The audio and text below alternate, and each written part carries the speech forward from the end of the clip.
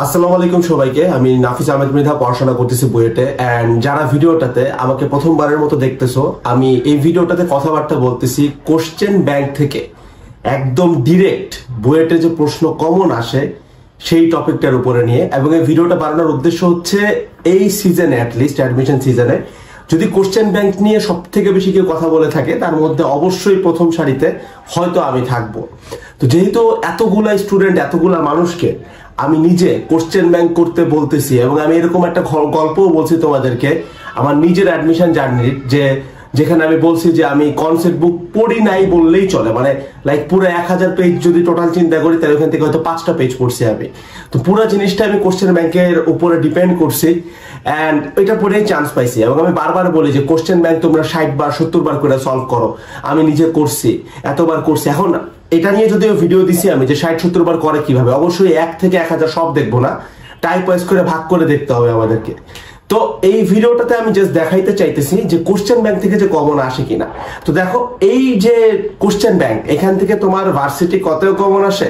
জিএসটিতেও common আসে in fact engineering BUET security সবখানেই common আসে। বাট আমাদের মেইন ফ্যান্টাসি থাকে যে বুয়েটে যে বুয়েটের প্রশ্ন নাকি খুবই কঠিন করে বুয়েটের প্রশ্ন নাকি খুব আজগুবি লেভেলে করে।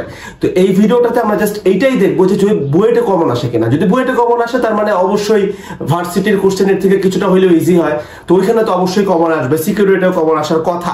তাই না? এরকমই তো ঘটার কথা, যদি বুয়েটে মিলে যায়। এবং আমরা শুধুমাত্র বুয়েটের কোশ্চেনে কমন আসে এতটুকু দেখব না। আমরা কিন্তু একদম ওভারঅল বুয়েটের লেটেস্ট যে কোশ্চেনটা একদম তোমার দুই হাজার তেইশ সেশনের যে কোশ্চেনটা সেইটাতে দেখব যে হায়ার ম্যাথে কতগুলো কমন আসছে। এরকম আরও বেশ কয়েকটা পর্ব আসবে। এটা হচ্ছে higher math first and second পেপারের উপরে রেকর্ড করতেছি আমি, যেখানে আমি একদম একটু পরে আমি স্ক্রিন শেয়ার করে দেখাবো যে কোশ্চেনগুলো কোথা থেকে পিক করছি অ্যান্ড কয়টা কমন আসছে, ঠিক আছে? আর আরেকটা ব্যাপার হচ্ছে, আমি যদি দরকার পড়ে অবশ্যই ফিজিক্স নিয়েও ভিডিও আসবে অ্যান্ড কেমিস্ট্রি নিয়েও ভিডিও আসবে।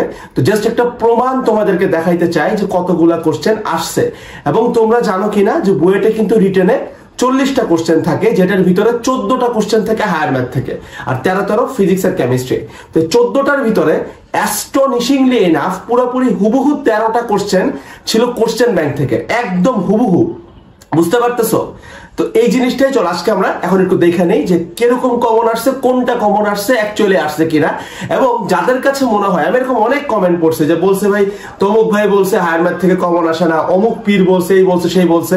বা তুমি নিজেও হয়তো পাও নাই যে হায়ার ম্যাথে কমন আসছে কিনা। বাট আমি তোমাকে দেখাবো যে আসলে কমন আসছে কিনা। হয়তো তোমার অ্যানালাইসিসে কোনো ভুল আসতেছে, বা কিছু একটা ঝামেলা আছে, ঠিক আছে? তো চলো এটা একটু আমরা দেখে রাখি।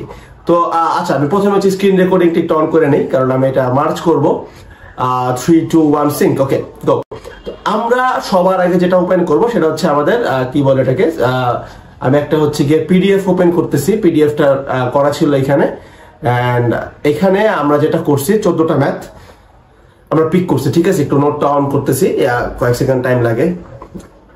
হয়ে গেছে। ওকে তো এবার আমার এই পাশে আর কি গ্রাফিক ট্যাবটা আর কি। তো আমরা একটু দেখি যে কোশ্চেন কি কি কমন আসছে। তো বেসিক্যালি হায়ার ম্যাথের কোশ্চেন আসে কয়টা? বইটা রিটেনে চোদ্দটা। একটু বলে রাখি প্রিলিতে যে চৌত্রিশটা কোশ্চেন আসে, ওইটা কিন্তু হুবহু কোশ্চেন ব্যাংক থাকে, ঠিক আছে?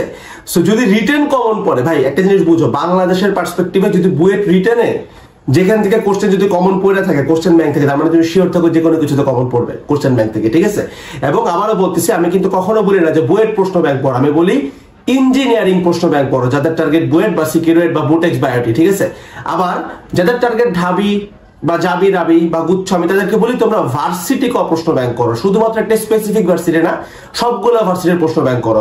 যাদের টার্গেট গুচ্ছ, আমি তাদেরকে বলি তোমরা জিএসটি কোশ্চেন ব্যাংক করো ভার্সিটি ক প্রশ্ন ব্যাংক করো, এবং প্রিভিয়াস ইয়ারে সাস্ট জাস্ট এরা যখন আলাদা ভার্সিটি ছিল ওদের এই কোশ্চেন গুলাতে হাতে ক্যালকুলেশন করার জন্য ওই জাস্ট ডাটাগুলোকে একটু সহজ করে প্র্যাকটিস করো। এটা হচ্ছে আমার গাইডলাইন ঠিক আছে? তো এটা জাস্ট একটা প্রমাণ, প্রথম প্রমাণ হায়ার ম্যাথ নিয়ে ইঞ্জিনিয়ারিং এর ক্ষেত্রে, ঠিক আছে? তো আমি কিন্তু, এখন কিন্তু কোশ্চেন বাই বুয়েটের তুমি ওয়েবসাইটেই পাবা, ঠিক আছে? বুয়েটের আন্ডার গ্রেডের যে ওয়েবসাইটটা আছে, ওখানে ঢোকার পরে তুমি ইজিলি তেইশ সেশনের যে কোশ্চেনটা ছিল মানে একদম রিসেন্ট সেশন যেটা, ওদের কোশ্চেনটা পিক করতে পারবা তুমি, ঠিক আছে? তো এটা আমি ওখান থেকে স্ক্রিনশট নিছি অ্যান্ড ওইটাই তোমাকে আমি দেখাচ্ছি। তো প্রথম যেটা আসছে সেটা হচ্ছে একটা ম্যাট্রিক্স এর কোশ্চেন ঠিক আছে? একটা ম্যাট্রিক্স এর কোশ্চেন চলে আসছে এটা হচ্ছে কোশ্চেন নাম্বার এক। তো এইখানে যেটা দেখতেছো, এটা কিন্তু তেইশ সেশনের কোশ্চেনটা আদৌ তেইশ সেশনের কিনা, তুমি বইটার ওয়েবসাইট থেকে দেখে নিতে পারো বা তোমার কোশ্চেন ব্যাংক থেকেও দেখতে পারো যে কোশ্চেনটা কোথাকার। এবং দেখো, এই কোশ্চেনটা শুধুমাত্র যে একবার আসছে, তা কিন্তু না। এই কোশ্চেনটা আসছে কয়েকবার। এই কোশ্চেনটা কয়েকবার আসছে। একটা আসছে হচ্ছে আচ্ছা এরকম আসছে এটা একটু বড় করতে পারলে ভালো হতো আই গেস ওয়েট এটাকে বড় করে কি হবে? আচ্ছা নাইস তুমি দেখো, এই একই কোশ্চেনটা আসছে আমাদের দুইবার।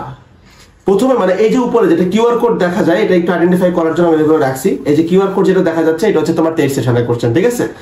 আর নিচে দেখো, এই যে ম্যাট্রিক্স থেকে তোমার এ আর বি এর ভ্যালু বের করতে বলছে, এরকম কোশ্চেন অলরেডি একবার চলে আসছে হচ্ছে গিয়ে তোমার বুটেক্সে দুই হাজার একুশ সালে, এই যে এই কোশ্চেনটা এটা হচ্ছে বুটেক্সের কোশ্চেন আমি এই পিডিএফটা হচ্ছে গিয়ে ডিসক্রিপশনে দিয়ে রাখব, তুমি চেক করে, এটা এটা হচ্ছে বুটেক্সের কোশ্চেন আর এটা হচ্ছে তোমার তেইশ তেইশ সেশনের কোশ্চেনটা ঠিক আছে? এ আর বি এর ভ্যালু বের করে, একদম ডিরেক্টলি ওইরকমই কোশ্চেন আসছে। আর আরেকটা হচ্ছে গিয়ে দেখো ম্যাট্রিক্স এ বি আর বি এর মধ্যে সম্পর্ক দেওয়ার পরে বি ইনভার্স ওয়ানকে এক্সের মাধ্যমে প্রকাশ করো। তো নিচের যে দুইটা টাইপ আছে, এই দুইটা টাইপ যে ভালো মতো থিওরিটিক্যালি বুঝে নিছে তার কাছে উপরের কোশ্চেনটা সলভ করা কিন্তু কোনো ব্যাপার না। এবং তুমি একটা জিনিস খেয়াল করলে দেখো, এই দুইটা কোশ্চেন সলভ করার জন্য কিন্তু তোমার কোনো প্রকারের রকেট সাইন্স বা খুব অ্যাডভান্স কিছু জানা দরকার পড়ে না। আমরা যে বেসিক কোশ্চেন ব্যাংক সলভ লাইফগুলো করাইতেছি, ওইখানেই তোমার সলিউশন বলে দিচ্ছি। প্লাস তোমার নিজের কোশ্চেন ব্যাংকের নিচেও কিন্তু সলিউশনটা দেওয়া আছে। তো এটার জন্য কিন্তু এত বেশি প্যানিক করার কিছু নাই, ঠিক আছে? এই কোশ্চেনগুলো কিন্তু পারার কথা। আচ্ছা আমি আগে প্রমাণ দেখাই, তারপরে লাস্টে কিছু কথাবার্তা বলব, ঠিক আছে? এটা হচ্ছে কোশ্চেন নাম্বার এক। আমি কিন্তু চোদ্দটা কোশ্চেনই দেখাবো, এটা কোশ্চেন নাম্বার এক। তাহলে প্রথম কোশ্চেনটাই কমন আসলো। এটা হচ্ছে কোশ্চেন নাম্বার দুই। যেখানে আমাদের তিনটা বিন্দু দেওয়া আছে কে দিয়ে, ঠিক আছে? এবং ত্রিভুজের ক্ষেত্রফল দেওয়া আছে। তার মানে বুঝতেই পারতেছো, আমরা শীর্ষ, ওই যে তোমার হাফ ইন্টু মডুলাসের মধ্যে বিন্দুগুলো বসাই দিলে কিন্তু আমরা হচ্ছে তোমার ক্ষেত্রফল বের করতে পারি। তো ওইখান থেকে চাইলে আমরা কে এর ভ্যালু বের করতে পারব, তাই না?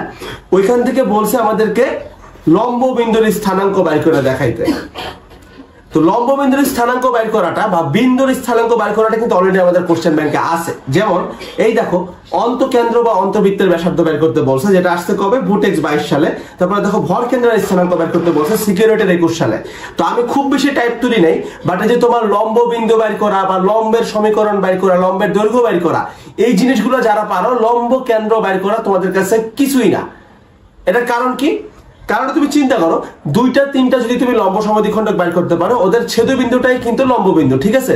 তো আমি যখন এইটার ম্যাথটা সলভ করাইতেছি, আমি যখন এটা করাবো, তখন অবশ্যই তাকে আমি বলব, যেটা হচ্ছে অন্তবিন্দু, বিন্দু যতগুলো আছে সবগুলো তাকে দেখানো হবে। যে একটা হচ্ছে অন্তবিন্দু, একটা হচ্ছে তোমার পরিকেন্দ্র, যেটাকে বলে অন্তকেন্দ্র, পরিকেন্দ্র লম্ব কেন্দ্র আর হচ্ছে ভার কেন্দ্র এই তো।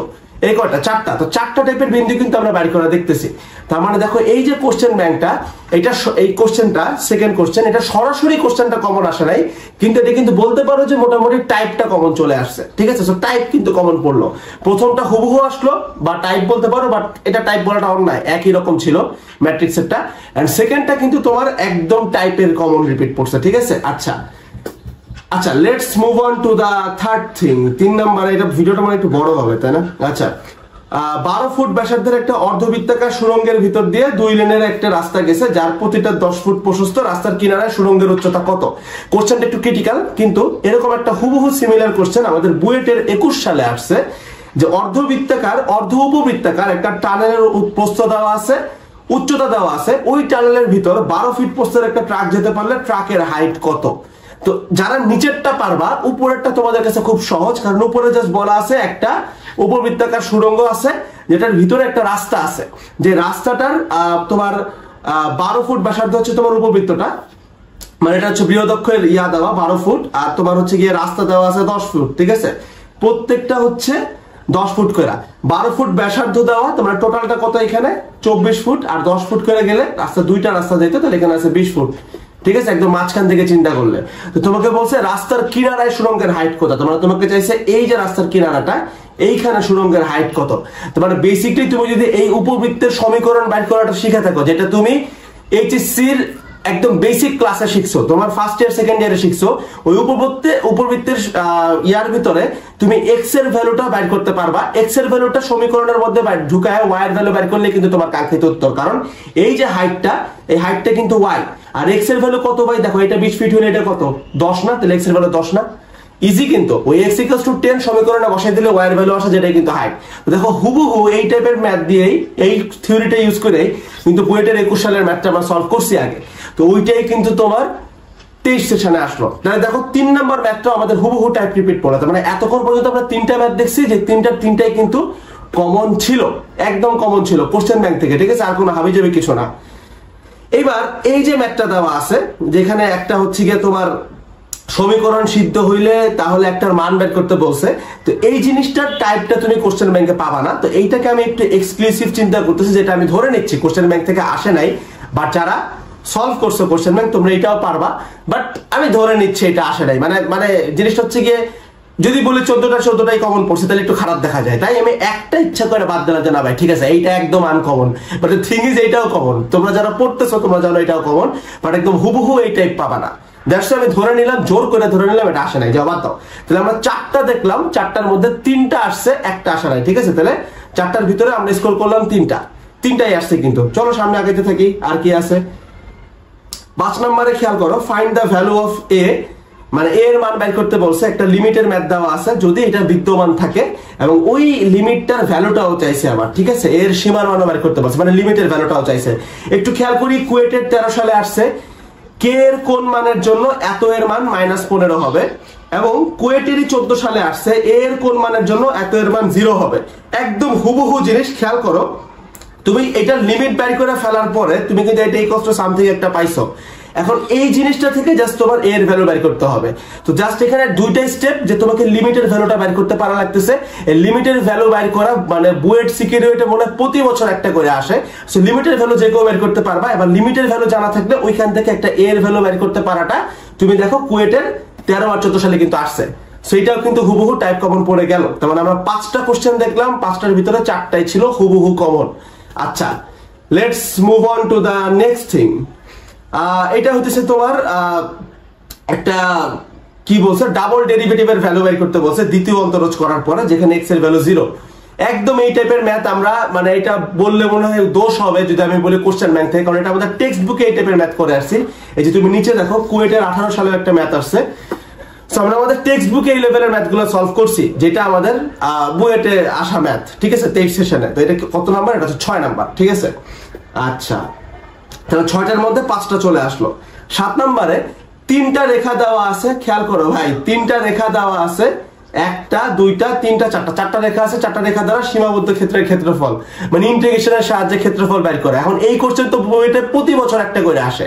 তো আমি তাও কষ্ট করে দুইটা বুয়েটের বাইরেও দেখাইলাম যে দেখো বুটেক্স এর বাইশ সালে এরকম আসছে সিকিউরিটির বাইশ সালে এগুলো আসছে এবং এটা কিন্তু টেক্সট বুকের ম্যাথ ঠিক আছে?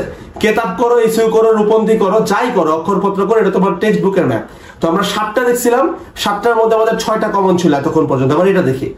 আমাদের একটা ত্রিভুজের ক্ষেত্রফল বের করতে বলছে, যেটা তিনটা শীর্ষ দেওয়া আছে Z I Z Z plus I Z মানে এই যে ত্রিভুজটা তোমার, তিনটা শীর্ষ দেওয়া জেড মানে কি ভাই?